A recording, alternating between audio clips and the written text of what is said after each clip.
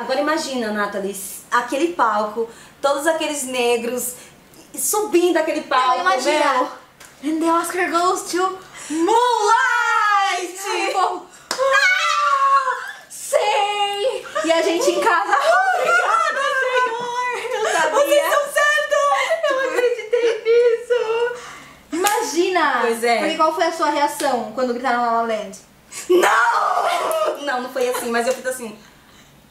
Meu nome é Nathalie Nery, esse é meu canal Afros e Afins e hoje estamos aqui com uma convidada muito especial, Érica Ribeiro, do canal Vai Trazendo. Olá, gente. Seja bem-vinda ao meu canal.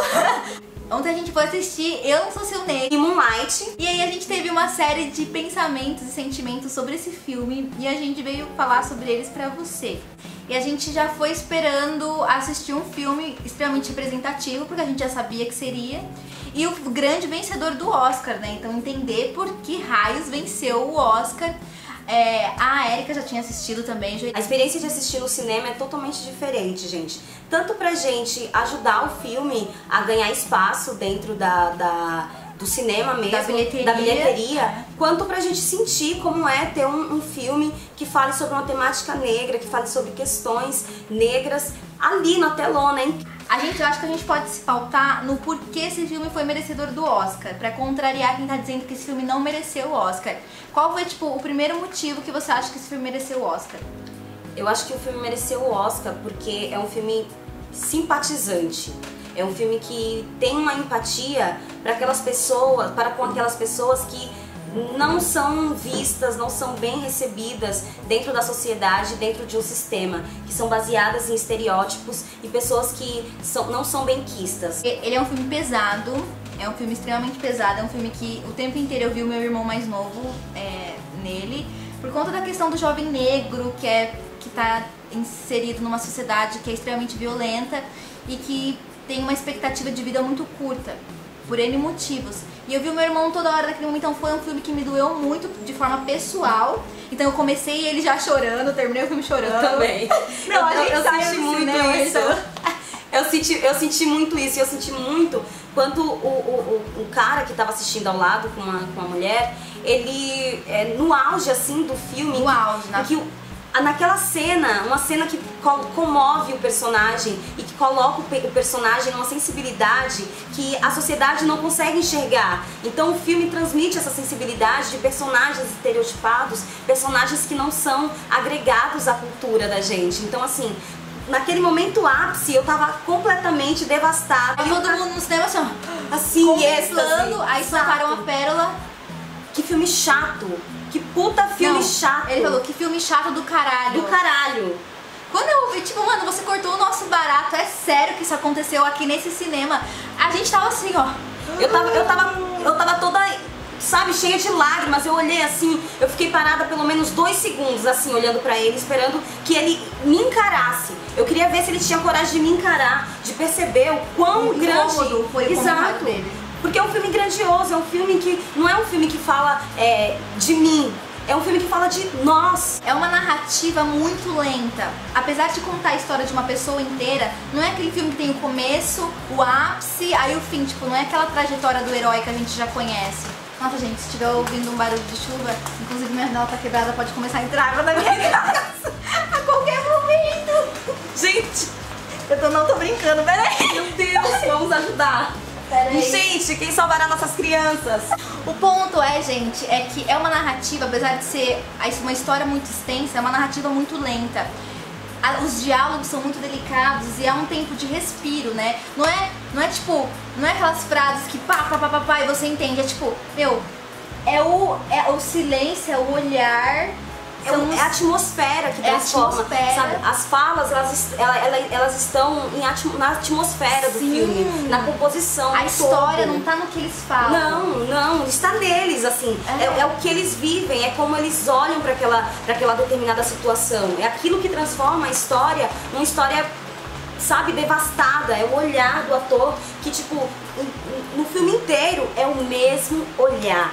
É o mesmo Não, o trabalho que eles fizeram com os atores, porque assim, como o filme conta a história, isso não é spoiler, mostra o Sharon em várias etapas da vida dele, a infância, a adolescência e depois a vida adulta. E uma coisa fantástica é que mesmo nós temos a mesma quantidade de tempo de cada um dos personagens aparecendo no filme, tipo, não tem um foco. Não é que nem alguns filmes que a infância é só uma fase pra focar o filme na vida adulta. Não, a infância, a adolescência e a vida adulta São- é tudo, tudo é tudo necessário. É. É. Sabe o que eu mais achei sensacional? O quê? Que o filme é extremamente duro. Ele machuca. Ele machuca. Ele é violento. Mas em momento nenhum tem aquelas cenas apelativas de filmes sobre negros nas periferias, nas periferias dos Estados Unidos. E eu acho que é isso, e foi isso que desagradou muitas as pessoas, porque as pessoas estão acostumadas a ver os negros sempre em papéis de, de estereótipos marginalizados, Violentos. violentos. Então, quando vem a pureza da coisa acontecendo, a humanidade, humanidade, isso. a sensibilidade com que esse diretor, porque esse cara tá no segundo filme dele e ele traz uma direção sensível, uma direção amena, uma direção que não precisa de verborragia e, e- e transforma isso numa poética, numa poesia, assim. Porque se você assistir ao filme sem fala, ainda assim você vai se sensibilizar. Porque eu assisti os 15 primeiros é, minutos do filme sem, sem áudio, sem nada, assim, que deu um pauzinho. E aí eu não consegui Ela foi do Piratão ainda. é, piratão na internet que eu queria assistir pro Oscar. E, mas aí eu falei, não, depois eu vou assistir no, no cinema, porque eu quero sentir como que é esse filme, a grandeza desse filme no cinema. Assim Mas é se- sensacional. Eu acho que esse é um dos poucos filmes que você tá. Você fala da pessoa negra no ambiente em que essa pessoa negra. No ambiente que essa pessoa negra geralmente está colocada, que é violento, que é um ambiente é, pesado, que é um ambiente que não dá espaço para ações como as, as que a gente teve no filme. Esse, você não imagina que é, nos guetos dos Estados Unidos, daquele, é, acho que é Miami, né? É Miami. Que nos guetos de Atlanta e Miami, Miami. você tá falando lidando com uma criança negra com uma mãe drogada e que começa a se envolver com a família de um traficante. Você nunca imaginaria que aquele seria o produto dessa mistura, desse ambiente, desses personagens, não desse, desse- do ambiente, da figura que aqueles atores representam. Você imagina que tudo sairia dali.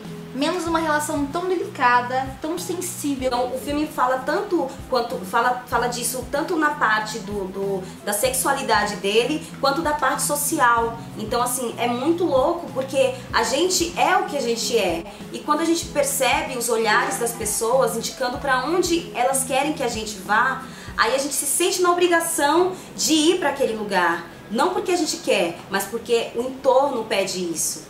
O filme trata de dois grandes posicionamentos na minha concepção. De um lado ele trata o macro e do outro lado ele trata as relações micro. E como eu digo, por que, a gente está dizendo isso? Macro é a repetição dos ciclos. O Juan, que odiava a mãe, assim como Chiron odiava sua mãe, que eram meninos negros que ficavam nas ruas à noite, porque é moonlight, sob a luz do luar, e acabaram nas mesmas posições depois de terem passado por processos de é, correção criminal e é, relacionamentos familiares negativos, etc. É o macro, é o ciclo se repetindo.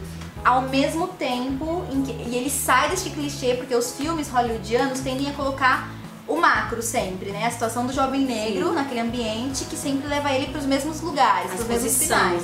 Isso. E ao mesmo tempo, ele individualiza os papéis. Ele mostra a humanidade por trás dessas categorias sociais, que é o homem negro traficante, o homem negro, o moleque pivete ou o moleque que é preso. Tem uma parte também legal do filme que é no final, porque no final realmente é uma parte que as pessoas que é mais lenta ainda, assim, sabe?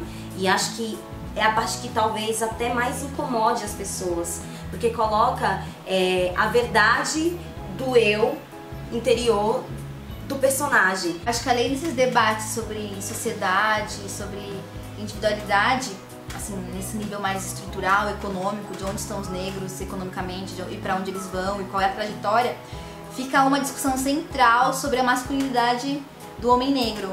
que é uma coisa muito potente dentro da sociedade, porque é praticamente uma coisa já imposta. Então, quando o negro, é, quando o jovem negro vai crescendo, ao longo do tempo, ele vai sentindo aquela necessidade de comprovar para a sociedade que ele é o garanhão, que ele é o pausudo, que ele é aquele cara é, ponta firme, é, é, o, é o fodão das galáxias. Então, tipo assim, ele não tem como não ser aquilo, porque é o que as pessoas esperam dele. Sim. E aí tem todo Ainda esse estereótipo. É, e existe, se isso existe com homens no geral, brancos, cis, trans, com homem negro isso ainda é mais carregado ainda, porque o homem negro é objetificado, ele sempre foi o homem objeto, ele sempre foi só o pau grande, ele sempre foi só isso. Eu acho que esse filme é sensacional por conta disso.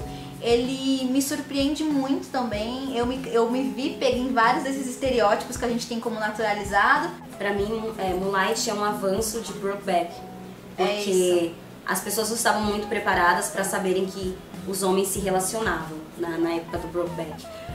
E aí, as, agora as pessoas não estavam preparadas para saber que dois homens negros se relacionam, podem Exatamente. se relacionar. É isso. Então, assim, acho que essa é a grande chave. Eu acho que as pessoas estavam tão acostumadas com o Brokeback que falou não, não quero nenhum outro. Mas existem outras histórias, gente, Exatamente. além da montanha.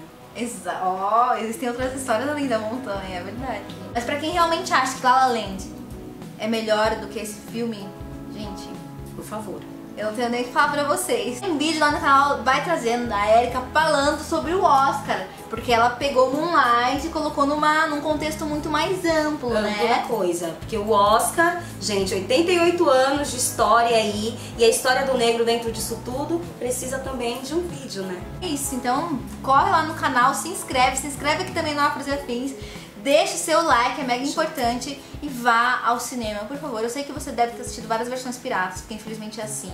Mas, meu, pega uma quarta-feira, todo mundo paga meia, vai assistir esse filme no cinema, sério. Vai assistir, gente. E se entrega. Total.